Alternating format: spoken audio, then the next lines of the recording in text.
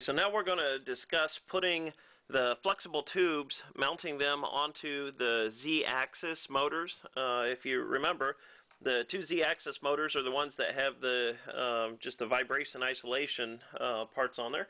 And uh, anyway, what we're going to do is we're going to take the two flexible uh, tubes that we get out of the hardware pack and uh, there's two different ways that you can actually put these tubes on there. You know, eventually we're going to actually take it and we're going to take our Z-rods and mount them and uh, the tube will actually connect the, uh, the two together.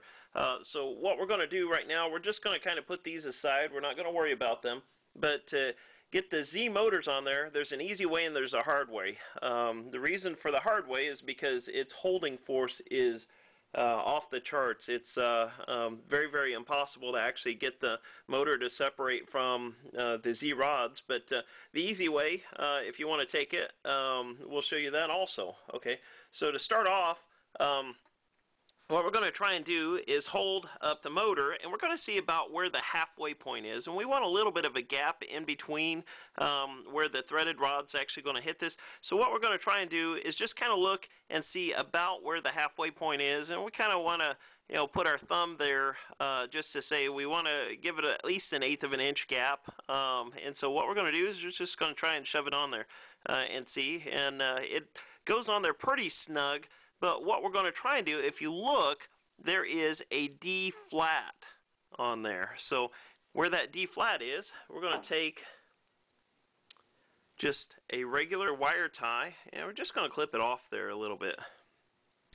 And the truth is, we're just going to make it kind of short. All we want to do is just cinch up a little bit of that D um, flat that's on there. So get rid of that. And we're going to kind of slide that and hold it onto the motor. And while we're holding it onto the motor, which is a little difficult to kind of hold it out there a little bit further first, and then we're going to go ahead and slide this on there and make sure that's still on the flat. And we kind of kind of note before where a halfway point is. You can kind of look up the tube if you need to. And that actually by itself cinches it up pretty good. You can see it's flared it out a little bit. So anyway, that's about where we want it because you can kind of tell with the little bump where it stops. We're going to push it a little bit further on there. Okay. Now, with that, that cinches it up pretty good, and then you can actually take uh, two more wire ties and go through and uh, wire tie them up. And what you want to do is you want to have it so that you have enough space that you can get to these wire ties and you really want to kind of pull on the wire ties pretty tight. These small wire ties don't have, you can't put anywhere near as much force as you can on like the larger ones, but the larger ones cannot grip all the way around this very uniformly. So anyway, you kind of cinch it up a little bit and we're going to do the second one. See, I actually put a little bit of stress mark on there, so that's actually kind of good. It's where we want to be. And we're going to do it again. And put another one on there. And you can either do it the opposite way, way or you can do it the same way. Um, you got different people believe different ways are stronger. You know what? Go with whatever suits you. So we're going to, same thing, put some tension on this. And we're just going to clip those off of there. And that way we have it and it's on there. You know, one of the things that you can do before you actually do that, that actually holds it really pretty well. I mean, it's kind of hard to actually pull that off there once it's cinched on there, so that's actually a pretty good method. But one of the things you can do is if you want, this is a precision ground shaft, but you can actually take your pliers and kind of scuff it up a little bit. It'll be the only time I actually ever tell you uh, to try and scuff up a precision ground shaft but just to muck it up a little bit, what that does is it gives it a little bit more uh, to catch onto uh, the vinyl tubing that's on here. Uh, because without it, it, it, spins too much if you don't actually put uh, something in that D flat there. Now here's the second method, uh, the method that I like, but it uh, requires a little bit more force to actually put it on there. Um, in order to do this, you don't actually put anything on that D flat. Instead, what you can do is you're going to take your 5 16 inch nut, you're going to take your vinyl tubing, and you're going to actually thread that onto the vinyl tubing. And so it's a little hard to do, um, you know, when you start out, And so what you might want to do is take your pliers and kind of crunch it down a little bit. I mean, not much, and just kind of uh, twist it while you're in there, and that gives you a little bit of a starting point.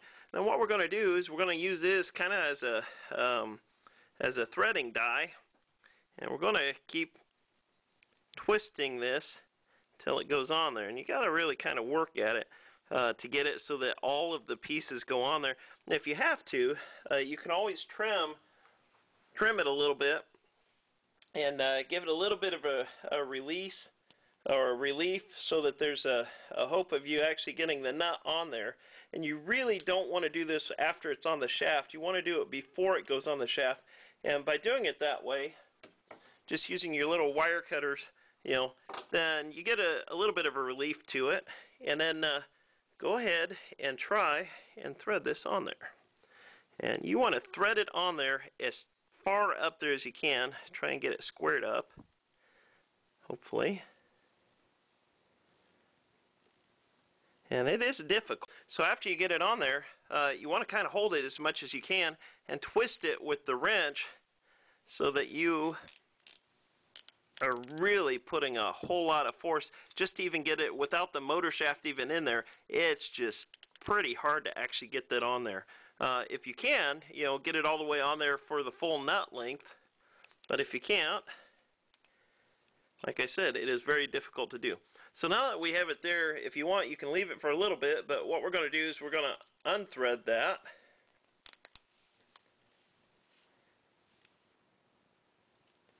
And you can see it's actually cut sort of teeth in there, and that's a good thing. That's what we want. Now what we're going to do is we're going to put that nut back on here.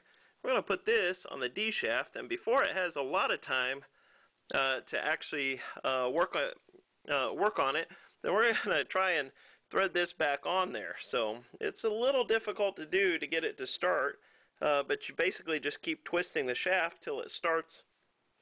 And once it starts, then we are going to keep feeding this. So once you get it on there, the key is that this nut does not have to be squared up, although it would look a little bit better if it were.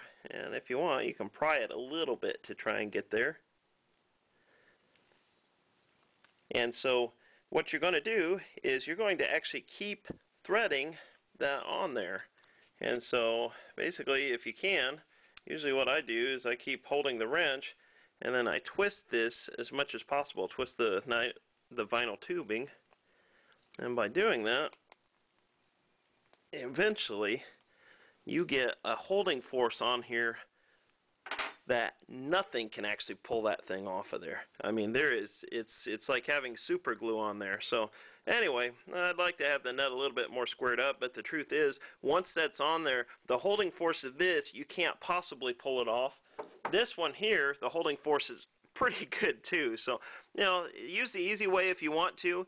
Um, if uh, you want higher holding force, uh, you can do it the hard way. Um, truth is, either of them will have more than enough force to hold it because you've got to realize that the whole X carriage is actually held by this. So, I mean, the truth is, um, if you put the little wire tie up and cinch up the little D slot that's in there, this method works really, really, really good. If you want super high force, this method is harder, but it actually works pretty good too. So anyway, it's your choice. Uh, either way, you need both of them done. Uh, do them both the same way, and uh, anyway, we'll go from there.